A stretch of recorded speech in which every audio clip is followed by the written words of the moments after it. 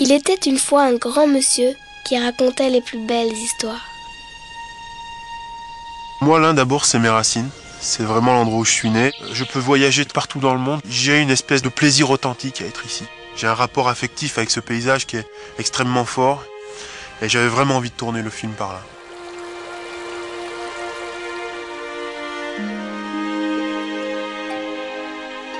Il n'y a pas besoin d'aller très loin pour s'émerveiller et vivre la grande aventure. Je crois que la nature, c'est un plaisir accessible à tout le monde. C'est un formidable terrain de jeu. Il suffit d'être curieux pour s'initier à ces plaisirs et à cette aventure-là.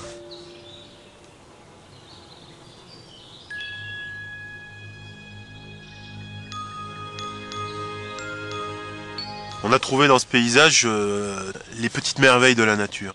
Ces instants d'émerveillement qui sont à la fois petits et sublimes, cette goutte de rosée qui tombe comme ça, un souffle d'air, un trait de lumière à travers le feuillage. Avec l'équipe, on a eu le temps de vivre avec la nature. Et je crois que c'est un vrai privilège et c'est peut-être même ça le vrai luxe.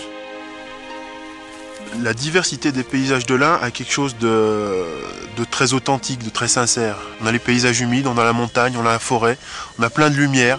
C'est à la fois quelque chose de très simple et de très fort. Coupé. Merci beaucoup, c'est très très beau. C'est déjà fini?